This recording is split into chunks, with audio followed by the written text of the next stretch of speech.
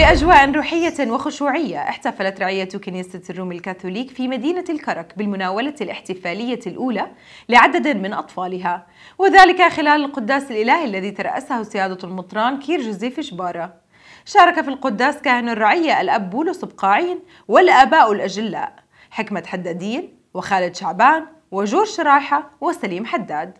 وعدد من الأخوات الراهبات وذوي الأطفال والأهل والأقارب وجمع من المؤمنين. وبعد القداس الإلهي توجه الجميع إلى قاعة الرعية للقاء المطران والكهنة وتبادلوا جميعا التهاني.